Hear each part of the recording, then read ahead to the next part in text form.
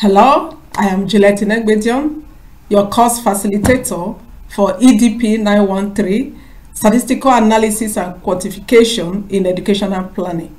But before we go into the course, I quickly want to let you know what we need to do that will enable you achieve the most in this course.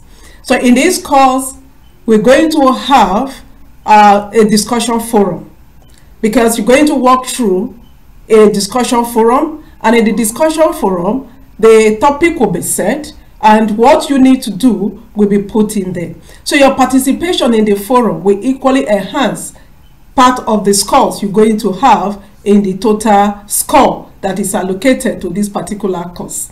And there are two ways we're going to facilitate this course. First is going to be asynchronous, which means no real time of meeting. In this case, through your uh, contribution, in the web in the learning management system will be able to communicate with one another share our ideas together in there without following a particular time zone. But when it comes to the second part, which is the synchronous, in the synchronous method, there will be real time. We're going to come up with a time schedule. And within that time schedule, I will be on. We're going to use video conferencing. And within that video conferencing, I expect you to be up to whereby we'll have to talk one-on-one. -on -one. You see me talking wherever you are in the world we'll be able to meet and talk and sort out issue.